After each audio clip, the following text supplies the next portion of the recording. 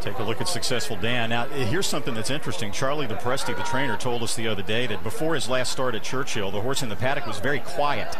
He said he, oh, he goes down. Wow. He didn't want him to be quiet in the paddock today. He wanted him to show some spark, but he didn't want to see that.